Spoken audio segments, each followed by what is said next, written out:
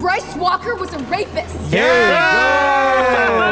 Da, da, da, da, da, We knew da, it. da, da, We da, knew da. it. Walker, Shut Oh. This is so funny. Oh, say can you?